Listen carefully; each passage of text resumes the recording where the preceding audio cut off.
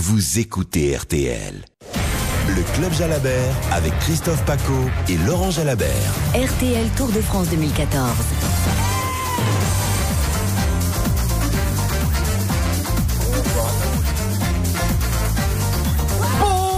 Bonsoir à tous, bienvenue à Besançon, jour de repos sur la grande boucle sur le Tour de France. Enfin, ce jour de repos tant attendu pour la caravane du Tour. Enfin, le grand soleil sur l'épreuve. Bonsoir Laurent Jalabert. Bonsoir Christophe. On pince les blés, les plaies et on oublie, on oublie évidemment les grands absents et Contador et Christopher Froome qui ne sont plus là.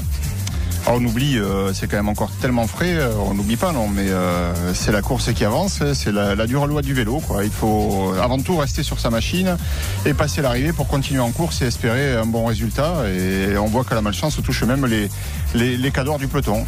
Ça c'est le constat. Maintenant la course continue sans eux, elle ne sera pas moins belle.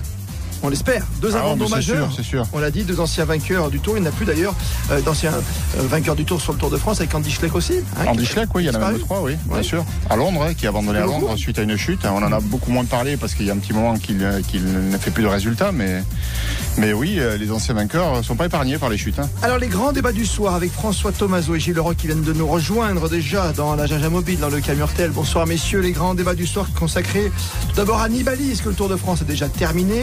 Y aura-t-il un Français sur le podium ou faut-il revenir à une course plus tranquille, plus traditionnelle pour éviter tous ces accidents?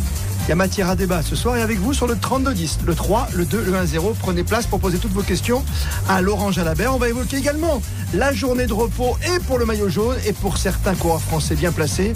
Quatre Français parmi les huit premiers, Bardet, Galopin, Pinot et Perrault. Derrière le trio de tête pour l'instant, Nibali porte et Valverde. Et puis avec vous également pour les cadeaux habituels de la combativité. Ce soir encore, la musette complète du Tour de France, les t-shirts, les bidons, les casquettes. C'est pour vous, question de sélection dans 10 minutes sur RTL. Vous êtes bien sur la première de France. RTL, le club Jalabert. Journée de repos, Laurent, on a l'habitude, maintenant c'est traditionnel. Il faut rouler, c'est quand même toujours aussi paradoxal. Bah, il vaut mieux, oui, c'est préférable. Essayer de bien sûr récupérer, hein, c'est fait pour ça, surtout la journée de repos. Mais ensuite, euh, il faut pas oublier que le lendemain, il y a une nouvelle étape qui va s'élancer. Donc l'objectif est rouler. Pourquoi? Parce que le lendemain, on peut avoir un, une mise en route difficile si on ne le fait pas. Il y a un rythme qui est pris par les coureurs qui sont habitués à, à rouler jour après jour. Et même le jour de repos, ben ils enfourchent, ils enfourchent le vélo, ils font un petit tour, ils transpirent un petit peu, et dès qu'ils sentent les sensations euh, revenir, euh, voilà, on s'arrête, massage, repos, sieste sûrement, un petit peu la famille. Euh, ça fait du bien de se ressourcer. On va reparler ouais. avec Nicolas Georgerot pour la famille, parce qu'on est à Besançon, il y a pas mal de coureurs de Franche-Comté, notamment dans l'équipe FDJ. On va y revenir dans un instant. Et avec Ludovic Van de Kerkhoff, on va tout d'abord s'intéresser à la journée d'un maillot jaune. Tout heureux après sa belle victoire, encore une fois, la planche des belles filles. Tout de jaune vêtu, Nibali s'est présenté face à la presse. Bonsoir à toi, Ludo. Bonsoir à tous. Euh, pas, pas, avec le maillot jaune, hein, avec la tenue euh, d'Astana, survêtement, t-shirt, bleu ciel. ah oui, bah oui, c'est normal, il faut faire plaisir aux sponsors, monsieur Van de Kerkhoff. C'est le Tour de France. Voilà. Pour une conférence de presse qui a, qui a eu lieu sur le parking euh, d'un hôtel à la sortie de Besançon, euh, l'hôtel très modeste. Euh, on ne citera pas l'enseigne. Ça commence par qui, ça se termine par Ad. Et puis euh, voilà, Et euh, conférence de presse. sur les cailloux, euh, voilà, presque improvisé. Euh, on, a, on, aurait envie de dire pour un maillot jaune devant quelques dizaines de journalistes quand même de la presse internationale, les cyclistes amateurs, les touristes, les supporters qui étaient venus là aussi pour glaner quelques autographes. Euh, tout cela en début d'après-midi avec trois quarts d'heure de retard après un déjeuner tardif. Euh, ambiance potache avec les copains à table. On l'a vu, Vincenzo Nibali consulter son smartphone, regarder des vidéos aussi euh, en prenant le dessert. C'était assez sympa et il y avait effectivement la sortie traditionnelle, deux heures, petite sortie d'entraînement ce matin avec les coéquipiers, tranquille avec le maillot de champion d'Italie. Tout ça après un petit café à la terrasse de l'hôtel avec la lecture des journaux qui vont bien. Pas de famille pour lui. Euh, la petite Emma, 4 mois et demi, à qui il a dédié sa victoire hier, est restée à la maison avec la maman. Donc euh, après-midi tranquille, en toute sérénité. Et euh, il a évoqué évidemment, évidemment cette avance de 2 minutes 23 pour l'instant sur Richie Porte, 2,47 sur Valverde, 3 minutes 1, on le rappelle, sur Romain Bardet qui est, qui est quatrième. Mais bien sûr, pas question d'avoir déjà le tour. Vincenzo Nibali, le tour n'est pas fini, on l'écoute. Il reste encore tant d'étapes pour arriver à Paris. Vous savez tous que sur le tour, tous les jours, il peut y avoir des surprises. Il reste des adversaires redoutables encore, comme Richie Porte, Valverde. Alors on va rester calme, tranquille, gérer la situation. Là, j'ai un avantage assez considérable, mais si j'ai la possibilité de l'augmenter, je le ferai. Se c'è la possibilità di incrementare ancora, sicuramente lo farò. Le Faro, ben oui, il faudra le faire en tout cas jusqu'au bout Nibali, il faut le garder. C'est encore long, il y a les Alpes, hein, c'est pas la plus grosse partie, surtout les Pyrénées, trois grandes étapes de montagne. On aura l'occasion d'en reparler, Laurent Jalabert, après Carcassonne et la deuxième journée de repos. Autre préparation différente, par exemple, c'est l'équipe Sky hein, de Richie Porte aujourd'hui qui s'entraînait en deux parties. Ils ont roulé un petit peu et après ils ont fait euh, du rouleau avec, euh, dans une salle de sport avec le chauffage allumé pour préparer les grandes chaleurs qui vont arriver. Étonnant étonnant, mais bon, quand on sait que Sky réfléchit à tout, euh, y compris euh, voilà maintenant la météo, qui, qui, peut avoir son influence et son incidence sur les, les, les sensations, le comportement des coureurs. Étonnant parce que euh, oui, euh, c'est inhabituel, tu mais, prépares, tu prépares mais en, même temps, en même temps, ça, ça, semble tellement évident que il faut effectivement s'acclimater maintenant à la chaleur. Si elle arrive d'un coup, là, ça va faire des dégâts. Hein. Ça, ça, je pense qu'il y a beaucoup de coureurs qui sont bien fatigués. Euh, ils sont tombés, c'est vrai, mais ils sont aussi bien entamés physiquement. Et, et si la météo euh, d'un coup devient changeante, euh, ça peut poser problème chez certains, oui. Donc c'est peut-être une façon d'anticiper euh, ce qui peut arriver à certains. Et on sait que de, de ce côté-là, Sky, ils réfléchissent quand même beaucoup. On verra si c'est une réflexion payante. Hein. Autre envoyé spécial qui est allé se promener aujourd'hui, qui est allé voir les coureurs, qui est allé faire du vélo avec eux, c'est Nicolas Georgerot. T'as bien bronzé. Hein T'es en pleine forme. Non, non, pas de vélo. T'es allé vélo. voir les copains d'abord, toi, l'équipe FDJ qui est quasiment en, en famille ici. Ah oui, exactement. Hein, en toute euh, décontraction, cette équipe euh, FDJ euh, qui avait carte blanche hein, pour, pour les coureurs. Certains qui sont un peu souffrants, comme Jérémy Roy, ne sont pas allés rouler. D'autres qui sont très fatigués, comme Arnaud Desmar, là aussi sont restés au calme. Et puis Thibaut Pinot et Arthur Vichot, eux, eh bien, sont quasiment à la maison. Thibaut Pinot était, c'était plutôt hier, mais Arthur Vichot, lui, il est vraiment chez lui ici. Donc ils sont allés faire une petite sortie, une heure et demie en fin de matinée. J'habite à un kilomètre à vol d'oiseau, ça fait un peu bizarre. J'en ai profité pour aller relever le courrier, dire bonjour au chat. C'est vrai que ça fait bizarre, ça fait l'impression de c'était une course d'une semaine et puis qu'on rentre à la maison au final, mais je suis resté avec l'équipe quand même, donc euh, ça permet de garder les idées euh, sur le Tour de France quand même. On est allé boire un petit coup dans un restaurant euh, avec Thibaut euh, où on connaît le, le patron, ça, bah, ça rappelle un peu des gestes du quotidien qu'on fait, donc on déconnecte un petit peu du tour, on a l'impression d'être à la maison ou voilà à l'entraînement, euh, une semaine normale. Je pense que ouais, ça fait du bien et, et, ça permet de recharger les batteries mentales et physiques pour la suite. Et un Thibaut Pinot qui a le sourire. on a vraiment le sentiment de retrouver un petit peu le, le Thibaut Pinot de, de, 2012 de Port-Entruy avec ce petit côté euh, insouciant. On sent que les soucis de l'an passé, tour, hein. voilà, et les, et les, soucis de l'an passé, on sent que la, la page est, est vraiment euh, tournée. Il a résolu euh, ses, ses, problèmes. Thibaut Pinot, sixième du général à 3,47 de Nibali, à 46 secondes de Bardet, maillot blanc, à une minute du podium et forcément tourné vers ce qui arrive. L'objectif euh, initial c'est le top 10. Après maintenant euh, il faut j'en aussi plus haut. Donc voilà on va on va regarder au jour le jour. Je suis encore loin du podium. Il y a encore des, il y a des grands coureurs devant moi. Donc euh, faut aussi pas oublier qu'il y a un chrono de 55 km. Donc euh, tout ça ça rentre en compte en sachant aussi qu'il y a des étapes encore qui peuvent être pièges. Donc euh, donc le tour est pas fini. Et on va dire qu'il y a des gros écarts commencent seulement. J'ai de l'ambition mais après il faut aussi mesurer. Euh, je suis déjà content de, de, de montrer ce que j'ai déjà fait aujourd'hui euh, depuis depuis le début du tour. Donc maintenant on arrive sur des, des cols qui me correspondent mieux. Donc c'est sûr que déjà, euh, je pense déjà avant tout à gagner une étape que le général. Donc, euh, donc voilà. Voilà, et la montagne qui arrive, forcément, ouais. ça lui plaît, les Alpes, les Pyrénées. Attention à la chaleur, euh, dit-il, et notamment euh, sur euh, la traversée de la vallée du Rhône, et notamment cette étape à Nîmes dimanche prochain, qui est une de ses craintes, mais toujours avec ce sourire sur le visage. Merci beaucoup, Nicolas Georgerot. On va retrouver les deux Van de Kerkhoff, d'autres Français qui s'illustrent, qui sont illustrés hier, notamment vers la planche des belles filles. Derrière Nibali, Porte et Valverde, l'actuel podium. Bardet, quatrième. Mon cher Ludovic Van de Kerkhoff, AG2R, qui compte également Jean-Christophe Perrault dans les dix premiers. Les huitièmes pour être précis à 3 57 avec au milieu donc Galopin et Pinot à 3,12 et 3,47 respectivement de Nibali. Bardet qu'on attend, Bardet, l'un des meilleurs jeunes de ce tour, si ce n'est le meilleur, en tout cas aujourd'hui. Oui, effectivement, le meilleur avec 46 secondes d'avance sur Thibaut Pinot. Une petite bataille pour le classement de meilleurs jeunes entre les, deux Français. Et euh, bah, l'équipe AG2R de la mondiale, ici euh, au vert, à 37 km exactement du centre de Besançon, château euh, Germinier. vraiment le, grand standing pour cette journée de, repos. En famille, là aussi pour, pour beaucoup. Romain Bardet, quatrième. Jean-Christophe Perrault, huitième. Pour l'instant, tout va bien. Et on a demandé à Romain Bardet si bah, il espérait et s'il rêvait du podium à Paris. Non, non, non, très honnêtement, non. Vous savez, je me fixe pas un billet en tête, un objectif fixé comme ça de place. Je fais ma course, euh, libérée. Euh, J'essaie de prendre du plaisir dans ce que je fais. Parce que ça amène de la frustration si jamais on, ça rentre pas dans les plans. Là, pour l'instant, je suis bien. Je, j'essaie de faire mon maximum sur, chaque étape. un peu sur la défensive pour l'instant, j'espère être plus acteur après, mais voilà, sans me fixer d'objectif, vraiment. Voilà, top 10 sera déjà très bien, et puis tout ce qui est en plus, c'est du bonus. Quoi. Et tranquille, hein, Laurent Jalabert. Il est posé, Romain Bardet. Hein. C'était au sous ce matin, ça l'interview. Mais sûr qu'il va bah, tenir le coup, c'était ce soir. C'est le moins qu'on puisse dire. Ah, oui C'était ce soir. et après la sieste, alors. Hein. Il fait une belle sieste, hein, peut-être. ah, salut Ludo, merci avec nos moyens techniques évidemment. Salut. Mis en place par Bruno Loriot.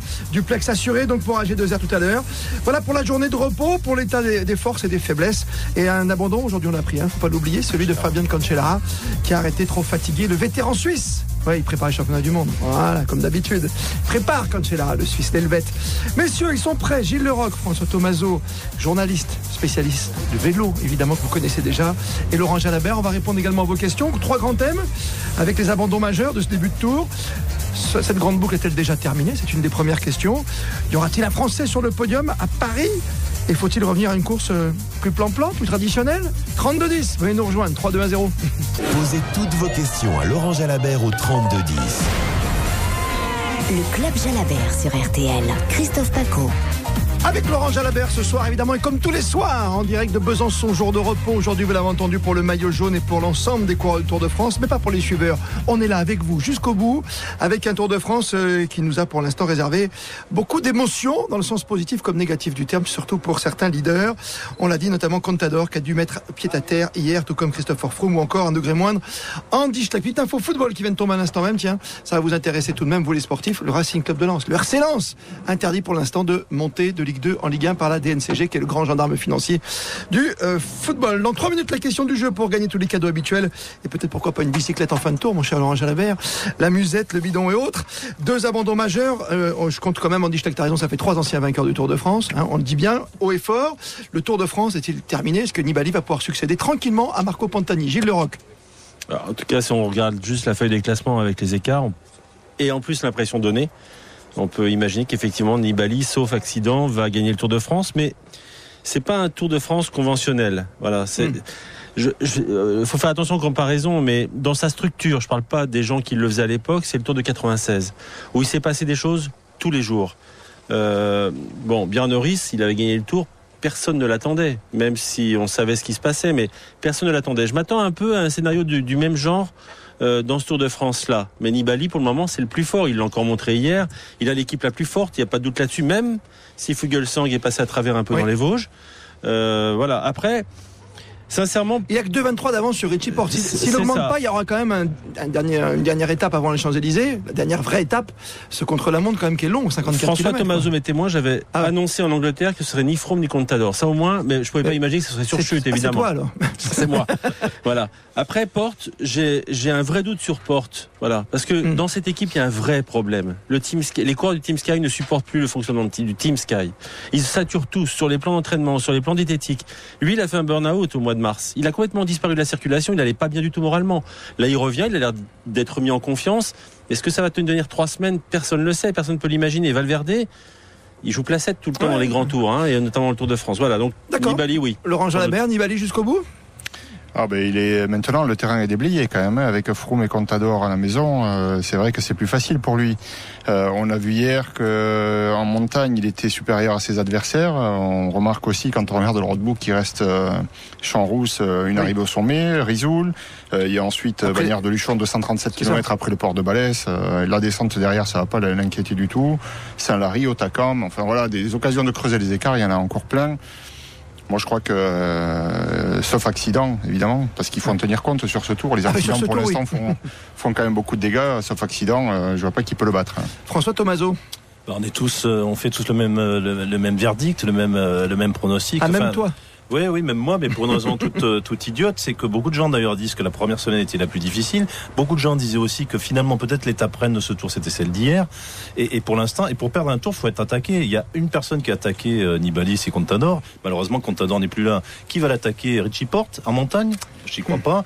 Alors on peut, on peut, ce qu'on peut espérer. Alors ce qui pourrait mettre un petit peu le feu, on peut, on, peut un petit peu anticiper sur nos petits Français. Ils peuvent avoir des ambitions puisque justement ils n'ont rien à perdre. Donc si eux mettent un peu le feu, attaquent et je, je, je, vois bien dans certaines conditions certains des Français euh, tenter tenter leur chance parce que finalement s'ils veulent justement être sur le podium, s'ils veulent exister dans ce Tour de France, il faudra qu'ils prennent leur chance. Eux peuvent un petit peu dynamiter, peuvent, peut-être un peu déstabiliser. On a vu une équipe Astana qu'on pensait euh, pour le coup extrêmement forte, qui a eu des petits soucis euh, dans la deuxième étape des Vosges où, il y a, où ça s'est pas aussi bien passé qu'on voulait qu'on le pensait. Alors peut-être parce que Vugelsang était malade et qu'ils l'ont attendu. Mais bon, euh, il y, a, peut-être, je, je, pense que Valverde, Richie Porte, très sincèrement, je les vois pas attaquer. Pas attaquer je les vois pas attaquer Nibali. On verra ça mais, en fin mais, mais peut-être d'autres peuvent, peuvent, essayer un petit peu d'allumer la mèche. Et si la mèche est allumée, alors là, après, bon, euh, tout peut arriver. Mais malheureusement, je pense qu'on est tous, euh, on est tous à peu près d'accord. Nibali. A, on va plus chercher les victoires d'étape et des grands coups des Français. Moi, j'ai bien compris ton raisonnement. En tout cas, François Thomas, Gilles Leroc, Laurent Jalabert, les grands débats ce soir en cette journée de repos ici à Besançon, 18h49. RTL Tour de France 2014. Le prix Antargaz de la combativité. Il n'y en a pas ce soir de combativité. Ce qu'on réalisé la plus grande sieste, peut-être. Je sais pas. Comme Romain Bardet tout à l'heure, Laurent Jalabert. Vous ne soufflez pas. Question de sélection 32-10 pour gagner les cadeaux habituels du tour comme tous les soirs. C'est très simple. Je vous demande tout simplement quel est le plus petit écart enregistré entre le maillot jaune et son suivant direct au classement général. Le plus petit écart, on s'en souvient tous. C'est assez récent. C'est récent. Notre culture. Oui. Ouais. C'est au siècle dernier. Ouais, on dit oui. ça comme ça déjà. Alors c'est 8 secondes, c'est 10 secondes ou 12 secondes. À vous de nous le dire. 32-10, 3, 2, 1, 0. RTL Tour de France 2014. Le prix Antargaz de la combativité. Le tour est-il terminé? Nibali, grand vainqueur déjà à Besançon, au terme de la première journée de repos. Qu'en pense Gilles qui est avec nous de Dombasle-sur-Meuse? Bonsoir à vous Gilles. Oui, bonsoir euh, Christophe Paco et Laurent Jalabert. Moi, je voulais savoir si Valverde, euh, avec son, son, équipe de Movistar, ont les capacités euh, au moins d'être dans les trois premiers. Valverde. Bonsoir Gilles, hein, c'est Laurent ici. Oui, Bonsoir, Valverde, euh, je crois qu'il a des grandes capacités, mais depuis le départ de ce tour, euh, il est, euh, il est surtout dans une optique de ne pas perdre de temps sur euh, sur ceux qui visent le podium, hein, et Nibali en l'occurrence. On l'a encore vu hier, il a essayé de le suivre quand euh, il, a, il a changé de rythme à 3 km de l'arrivée. Il a jugé que le rythme était trop élevé, il a préféré temporiser. Euh, voilà, il, est plus dans le calcul de ce qu'il pourrait perdre que dans ce qu'il va gagner s'il prend des risques. Donc, ils sont nombreux, je pense, dans les dix premiers à avoir cet état d'esprit. Et du coup, ça, ça favorise quand même euh, Nibali. Bon, Valverde a une belle équipe, mais euh, pour l'instant, euh, il se contente de le maintenir aux, avant-postes du peloton. On l'a pas vu attaquer encore, on l'a pas vu même pas disputer un sprint dans les étapes qui lui allaient bien, avec des arrivées difficiles. Donc voilà, difficile de se dire qu'il peut chambouler ce classement en général, mettre sur le podium. S'il lui arrive rien, pourquoi pas finalement Pourquoi pas Voilà Gilles, pour votre première question à Laurent Jalabert ce soir, vous êtes suivi par Guillaume dans le peloton, Guillaume de Châtenay-Balabry. Bonsoir Guillaume. Bonsoir Christophe, bonsoir Laurent. C'est donc ma question est pour vous quel est le Français entre guillemets qui a la meilleure chance de viser un podium? Parce que on part du principe que pour la première place à moins d'un miracle ou d'une chute ce qu'on ne souhaite pas la première place est pliée. Et une autre petite question en bonus c'est pour moi c'est un avis personnel c'est pour moi le tour risque peut-être d'être joué samedi parce qu'entre l'enchaînement Champs-Rousse vendredi et Rizoul samedi pour moi samedi on peut avoir le, le vainqueur du tour. Oui, mais il faudra quand même aller jusqu'à Paris et oui. le chemin sera compliqué pour tout le monde, hein, oui. y compris pour celui qui aura le maillot jaune. Donc euh, ça, on peut pas, c'est pas aussi simple. Mais quel est le Français qui pourrait, euh, qui pourrait être le, le, mieux placé au classement général? C'est difficile à dire, hein, parce que tous les trois là, Bardet, euh, Thibaut Pinot et et Jean-Christophe Perrault ont de réelles chances d'être dans ce top 10. Euh, ils y sont déjà d'ailleurs et d'y rester, même peut-être sur le podium. Mais je crois qu'il leur faudra surtout prendre des risques. Prendre le risque peut-être de, de, tout perdre. Est-ce qu'ils sont prêts à, à prendre ce risque-là pour gagner gros? C'est à mon avis ce qu'il faudrait faire quand on est euh, du côté d'AG2R, deux, deux Français en les dix premiers. Bah, ça vaut peut-être la peine de, de, réfléchir à mener une stratégie différente, quoi, essayer d'attaquer. Euh, euh, le maillot jaune parce que faire euh, 4 et 6 euh, c'est bien mais oui. En fait, dans les 10 pour des jeunes, sacrifier un pour mettre sur le podium. Oui. Enfin, en tout cas, il y a des marges de manœuvre à, à mettre en place, quoi. Et, bon, j'ai pas parlé de Galopin parce que je, bon, c'est très bien, gloire, très bien ce qu'il a fait, mais mmh. on a vu hier qu'il était déjà fatigué et, et, la montagne, elle sera trop compliquée pour lui. Messieurs les spécialistes aux côtés de Laurent Jalabert ce soir, Gilles Leroc, François Tomaso, plutôt Bardet, plutôt Pinot ou encore Jean-Christophe Perrault? Pierrot, il a pour lui le fait de bien rouler contre la montre et mieux que Thibaut et Romain mais il a contre lui le fait d'être moins bon grimpeur que d'eux. Lui, c'est le, vraiment le, le, spécialiste du contre-la-montre capable de prendre un, un seuil longtemps et, et de monter des cols comme ça, euh, tempo longtemps. Si, si la course se, se, déroule comme ça, Perrault a de grandes chances d'être sur le podium à la place des deux jeunes. Après, ça, je, je, pense que ce qui va focaliser un peu les deux coureurs, Pinot et Bardet, et le public, et c'est ça qui est très intéressant, ça fait longtemps qu'on n'a pas vu ça, c'est leur lutte pour le maillot blanc. C'est tout bête, ah. mais c'est un objectif que eux ont tous les deux. Et je pense que les deux vont devoir attaquer, s'attaquer l'un l'autre. Ça peut les emmener, c'est ce que disait Laurent finalement, ça, ça, peut les emmener vers le podium. Pour ma part, je pense que Thibaut a, a plus de plus de possibilités parce qu'il est vraiment très fort. Là maintenant, il est très fort, il est très frais. Regardez les visages hier. Reprenez tous les images de l'arrivée hier. Quand il a franchi la ligne, Thibaut, il est frais. Les autres derrière, ils sont très fatigué. Donc je pense que Thibaut a plus de chances d'y arriver. François Tomaso. Moi, je joue aussi Jean-Christophe Perrault, si je dois choisir. L'expérience tout simplement. pour l'expérience déjà, parce qu'il a, il a l'expérience de, de, de, long tour. Il en a géré des, des, des, simples et des compliqués. Euh, il a en effet euh, un, un, potentiel plus large, une palette, euh, une palette plus large et de tout. Et alors si on parle sur les, les... on a entendu hein, Thibaut Pinot et Romain Bardet tout à l'heure. Jean-Christophe Perrault, à, à l'issue de l'étape d'hier, lui, il disait, enfin, il l'a dit plusieurs fois. Lui, le top 10, il a déjà fait. Euh, il vise plus haut et c'est le seul qui a, qui a annoncé peut-être des ambitions plus plus hautes que mm.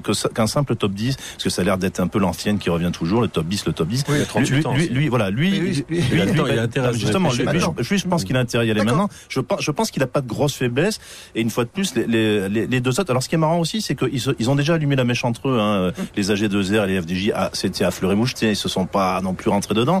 Mais déjà l'un l'autre ah oui ils s'accusent un peu de pas collaborer. Enfin il y, avait des petits mots comme ça quand quand euh, Thibaut Pinot est parti euh, dans l'étape avant celle de la planche des belles filles il y a eu des petits commentaires à l'arrivée en disant oui, on a pas Bien, mais bien. Donc, donc, il y a aussi une lutte interne entre les Français et peut-être ah bah, que ça, ça peut, ça peut être une mèche qui va allumer aussi euh, pour le général. Pour l'instant, le premier Français, c'est évidemment euh, Romain Bardet qui est à 3 minutes et une seconde de Nibali derrière Porte et Valverde, cinquième Galopin 3-12, Pinot 3-47 et Perrault un peu plus loin à 3-57, c'est rien, 10 secondes derrière Pinot. Il est huitième pour l'instant, n'oublions pas Pierre Roland quand même qui est 16e mais à 6-47 et là ça monte. Avec le Tour d'Italie dans les pattes, il serait très surprenant qu'il soit dans le top 5 On surveillera, monsieur Laurent. Oui, bien sûr, d'ici la fin, 18h55, messieurs. Oui, L'avantage de Pierre Roland, c'est justement qu'il perd du temps. Du coup, euh, il aura, lui, les, les coudées plus franches pour partir dans une échappée de loin. Il peut faire le yo-yo comme ça. Un coup, je me replace, un coup, je répète.